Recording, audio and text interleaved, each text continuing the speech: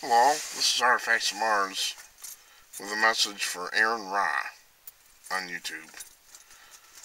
Uh, you and I have some things in common, I suspect. Other things, probably not. You seem to be liberal. I'm a uh, backwoods-style conservative. But I don't, don't want to talk about politics, I want to talk about your uh, videos about the Bible. Now, Mr. Aron, Aron Ra, that's not actually his real name. Ra is uh, the Egyptian sun god. You can look it up on your own time. Um, we have a problem. See, the problem with your, what you're trying to do, you seem to be attacking people's faith, excuse me, faith using logic and reason. I don't think it's going to work. I mean, you and I can tell Christian, okay, you know, just having one elephant by itself on the ark would be probably more work than eight people could handle.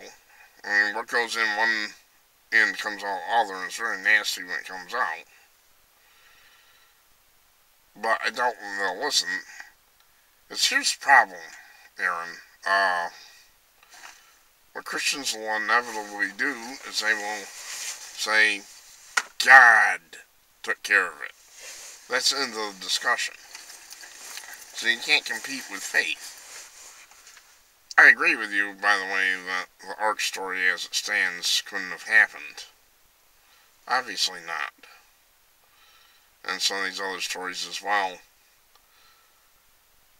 But, you know, attacking people's faith isn't going to work. Like I said, I'll just say, God made it happen. Well, it's just there's just no way to win. Now, uh, my approach is a little bit different. What I do is I try to encourage them to read some things in the Bible which are actually forbidden for Christians to read because uh, the ruling elite doesn't want to know this, these things. One of the most egregious things is in Genesis. See, one sec. Uh, in Genesis, it says that the mist rose in the morning the water of the Garden of Eden. And it says that a river was the source. I think Euphrates. I'd have to look at any rate. But what that is, we ain't got a problem. That's a clear description of an irrigation system, an advanced irrigation system of the time, you know, one that has a timer and all this. We have those today, but they didn't exist, not even King James era or anything, so you got a serious problem there. Uh, somebody apparently knew about some very advanced technology. And also, what it also demonstrates is the Christian meme about uh, it never rained until Noah uh, came along and the ark and the flood.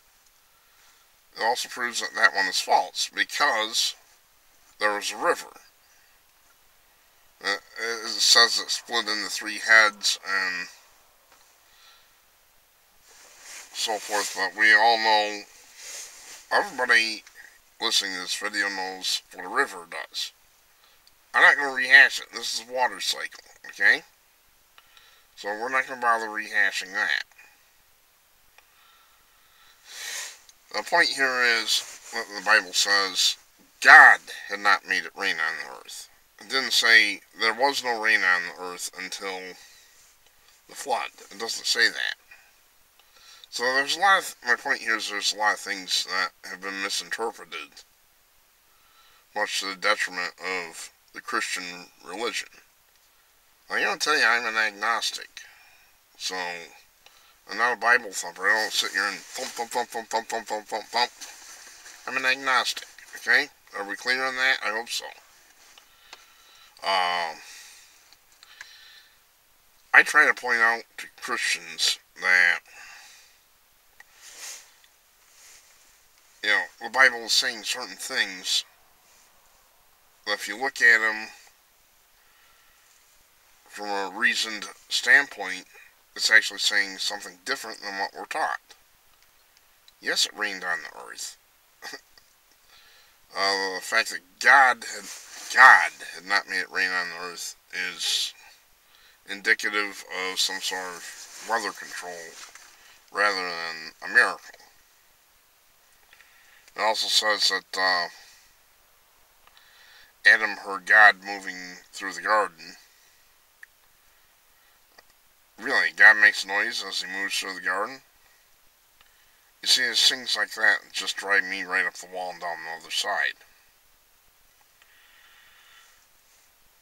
But, you know, that's what I would encourage you to do, is read the Bible and try to explain to these Christians what it's actually saying. I don't have a lot of time anymore for videos, I'll be honest with you. The requirements of work have just gotten to be outrageous. Uh, and I just don't have much time at all for the internet anymore, unfortunately. I have to have it for a tool. I have to look things up. I have to contact people, but, uh, as far as doing a lot of videos, I just don't have time for it anymore. It's that simple. I would encourage you to actually read the Bible. There's some things that I'm not even going to touch because I know I'm not going to win. I would have no idea. One of those is uh, Shadrach, Meshach, and Abednego going into the big furnace in there. Uh, I'm not terribly familiar with the story, but they survived, and if they take that literally, then I have to sit here and think, yeah, maybe God did protect them. See, I'm not an atheist, I'm an agnostic. And I'll tell you another thing while we're on the agnostic subject. I have my own uh, little series I did called Intelligent in Design and Nature.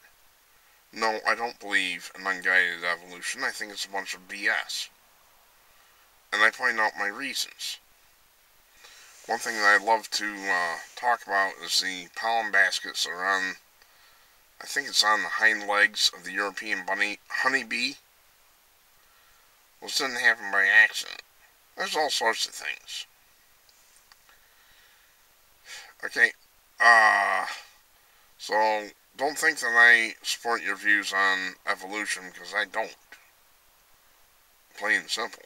Uh, I think evolution, unguided evolution is wrong. I think there's, I think species are being created all the time. I said created. I just can't prove it.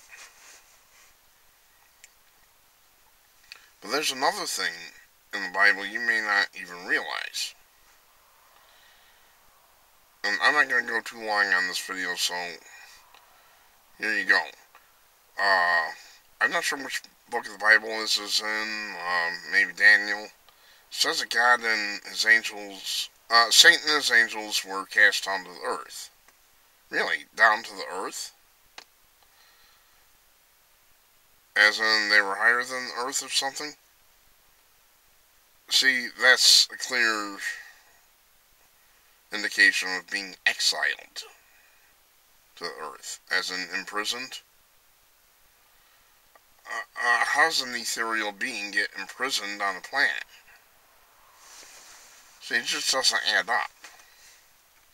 This is the kind of thing that I try to hammer them on, but of course they don't listen, they want to believe the dogma. I don't like dogma. I don't like it at all. I mean, dogma holds that the people of Babel were trying to build a tower to reach to heaven. That's what the Bible says. Uh, in reality, it's believed that this was a Babylonian step tower. But the problem is that there were uh, mountains available for them to climb And no Babylonian step tower could have ever gotten even a fraction of the height of mountains, so they had to have had a different purpose than physically climbing up. And of course, they would have never reached heaven, even if they could have built it, they would have run out of air at some point. You know, I share your views to an extent, but I do feel there has to be some kind of a God. I don't see how you're going to get away from that. Uh, maybe you think there isn't any God. I have a problem with that. I can see for myself how things have been designed. But I have a problem. Let's say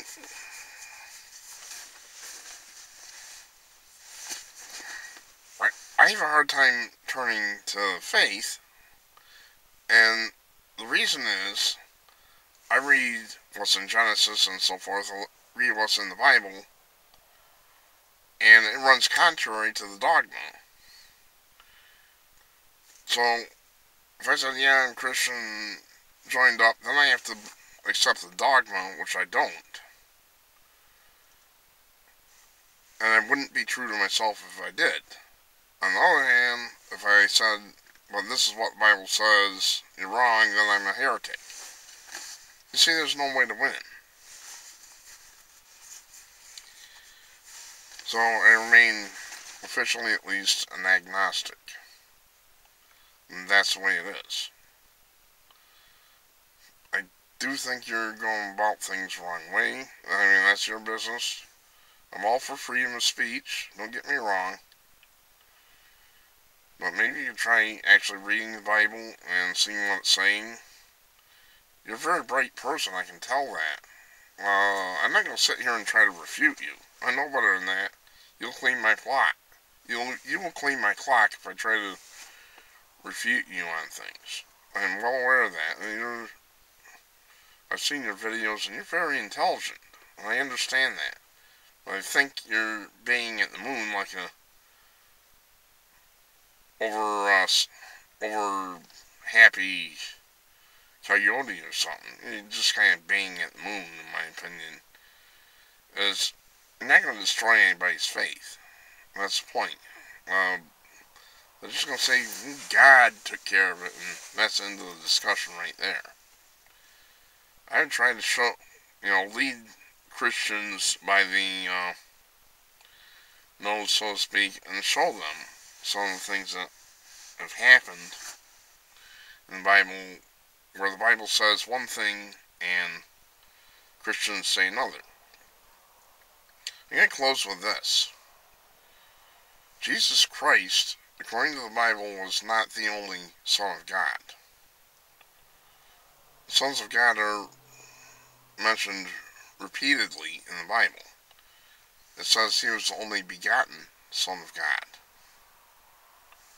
That term begotten is archaic, and basically what it means is born of a human female. Which means all the sons of God by default were born of females that were not of human origin. If I go by the Bible. If I go by the scriptures. Well, at any rate, that's my two cents. You know, maybe you try reading that Bible instead of just slamming it and see what it says, because there are some fascinating things. Uh, Adam and Eve made aprons of fig leaves? Really? Where they uh, get sewing equipment? And where they get skills to learn how to sew? And how do you sew fig leaves together anyway? They're just going to rip apart the instant you try to move around. And where they get thread, so on and so forth. So, there are a great many things. The Garden of Eden story sounds a lot like genetic engineering and by a highly advanced, intelligent race. That's what it sounds like to me. I think we need to hammer that home. Because if you look in the Garden of Eden story, it's one thing that's left out of the actual creation. And that's reptiles. It mentions birds, and it mentions uh, mammals, copiously. Not one peep about reptiles until you get to the serpent. That's my two cents. Uh, thank you for your attention.